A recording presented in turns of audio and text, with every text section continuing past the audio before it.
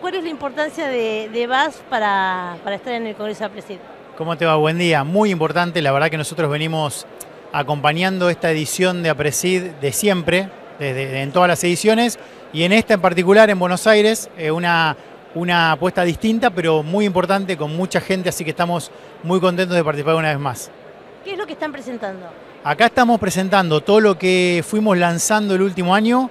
Vos sabés que tuvimos tres lanzamientos muy importantes, un herbicida, un fungicida y un inoculante, y además todo lo que tiene que ver con mapeo digital de malezas de nuestra plataforma digital Sarvio.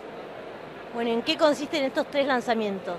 El herbicida es Boraxor, un PPO de segunda generación, muy importante para barbechos de presiembra en los cultivos de trigo, cebada, maíz, eh, soja y maní eh, muy importante en cuanto al control de malezas de hoja ancha y también con supresión en algunas gramíneas y es un producto muy interesante porque tiene una gran desecación, un gran poder de desecación de malezas y una persistencia de control. Eso es lo que le otorga este PPO de segunda generación.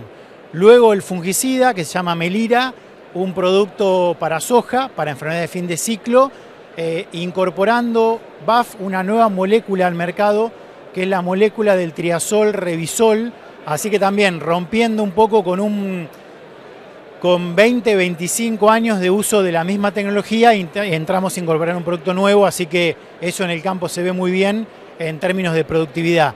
Y el inoculante es Highcode Dry, que es un producto sólido, la novedad es que es un producto sólido, eh, las bacterias están en estado sólido y eso es muy interesante a la hora de ahorrar en logística, en almacenaje, eh, eh, todo lo que es para el operario, el manipuleo de las, de las bacterias, así que tiene muchísimas ventajas, no solo en la mejor performance, sino también en cuestiones de abastecimiento, logística, almacenaje y demás, como te decía, y es eh, el primer inoculante sólido del mercado, así que muy contentos porque eso es un desarrollo local de nuestra planta de Santo Tomé, de la Agente de Investigación y Desarrollo, así que un orgullo presentar este producto.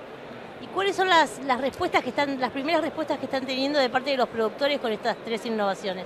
La verdad que muy buenas, si bien es un año muy particular, porque es un año complicado en términos de, de, que hoy el mercado está bastante parado, porque el productor está esperando algunas medidas y, está con, con sus rentabilidades ajustadas, como la verdad que lo viene haciendo hace, hace mucho tiempo, pero el productor argentino es un productor que siempre afronta los desafíos de manera eh, muy profesional, donde incorpora tecnología cuando realmente esta le da un diferencial en productividad. Siempre apuesta a innovaciones que tengan buenas respuestas, y es el caso de estos productos que ya están disponibles este año y ya estamos teniendo demanda.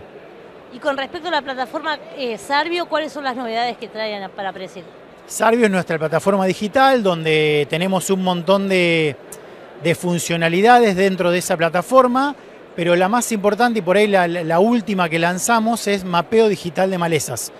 Esto es eh, una herramienta fundamental para, por ejemplo, un asesor que hace un mapeo de las malezas en el lote con drones luego eso baja un mapa a la herramienta y se pone en una pulverizadora, por ejemplo, que te dice dónde aplicar, dónde no, y esto tiene muchísimas ventajas en cuanto a el ahorro de energía, por ejemplo, menos productos, menos agua, menos gasoil, son, digamos, herramientas que hacen que la productividad sea mucho más eficiente y sustentable. Y por último, ¿cómo estás viendo el productor para la próxima campaña?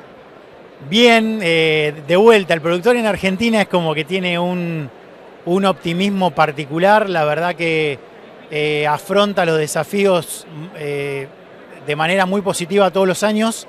El año, la campaña que viene se plantea en términos climáticos, hablan de niña, pero una niña que puede ser débil, o sea que puede ser un año promedio.